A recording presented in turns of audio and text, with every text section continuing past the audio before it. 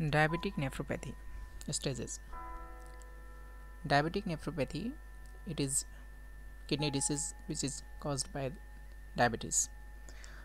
Diabetes leads to increased blood sugar level and the increased blood sugar level causes glycation of the red blood cells and also the renal efferent arterioles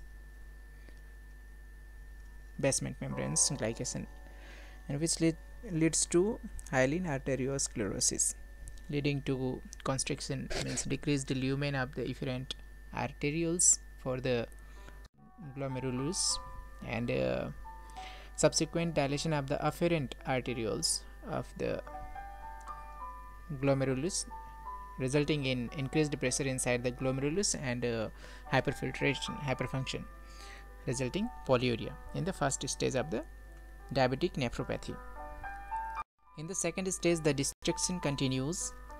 In the third stage, we can see microalbuminuria, and uh, this stage can continue till 20 year also, very long period.